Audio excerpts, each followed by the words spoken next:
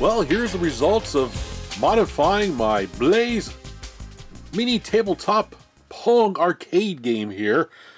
Uh, as I told everybody in my last video, I plan on replacing the mechanical encoder and like clickety clickety clickety. This side is still stock. It goes clickety clickety clickety. This side I got the new encoder in.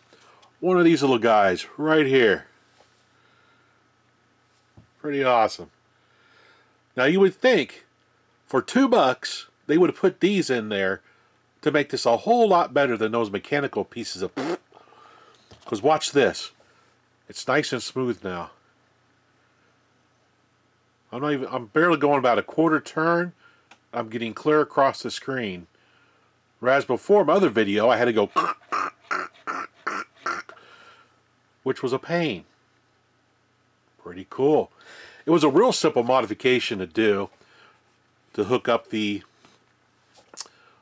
new encoder and replace the old one. The hardest part of the build was probably getting these decals off on the side. I used a hair dryer to heat up the glue and carefully peeled them off.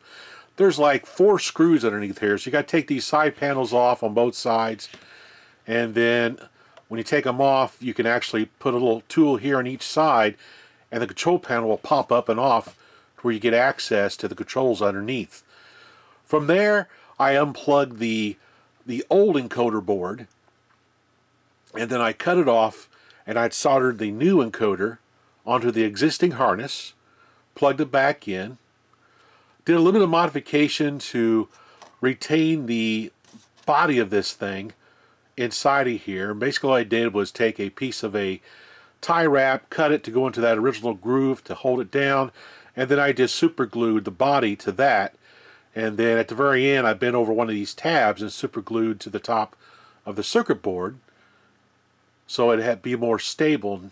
It works really well as you can see. I don't have any problem controlling this guy now. Hit start.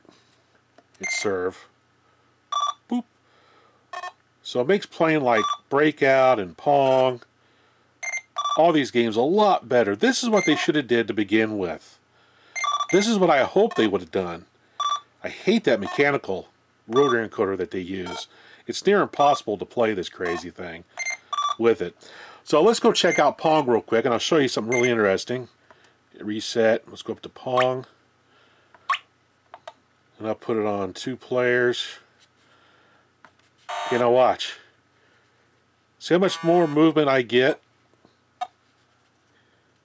And how the mechanical encoder just kind of blips and bleeps around. You got to turn it multiple times and at a certain speed to get it to respond.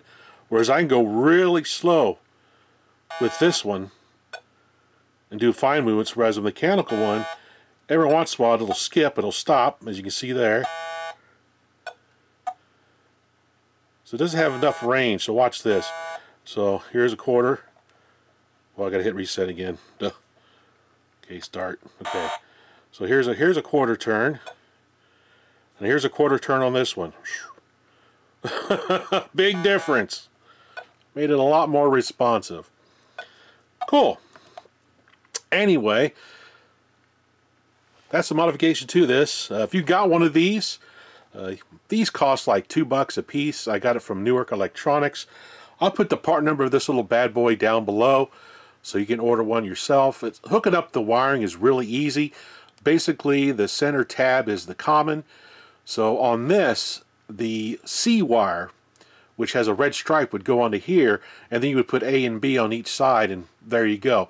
If you hook up the wires backwards, the A and B backwards, you'll just, just flip them. You'll notice that the paddle will go the wrong way when you turn, so you just flip the wires, get it back working. I recommend testing it out before you put it all back together to make sure you have the A and B channels correctly hooked up on this crazy thing. Anyway, man, I ramble a lot. Anyway, thanks for watching. Thanks for watching.